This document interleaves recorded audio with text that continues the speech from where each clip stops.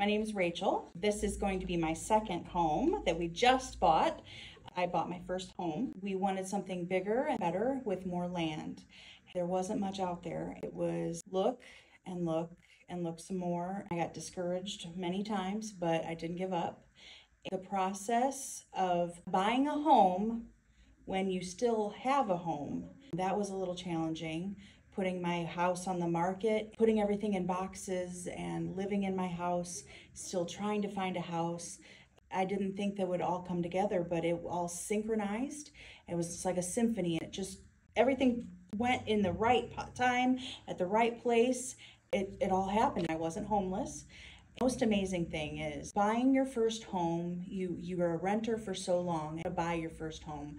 When you do, it's the best decision you'll ever make because your money is like liquid gold. I bought a home for $172,000.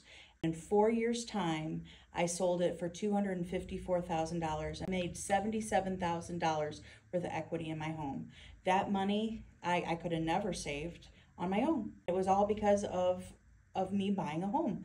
I was able to upscale and actually get some money back for improvements. I put 20% down so I didn't have to come up with PMI, which saves a lot of money. That's our story. We're going to make it our dream home. It's out in the country. It's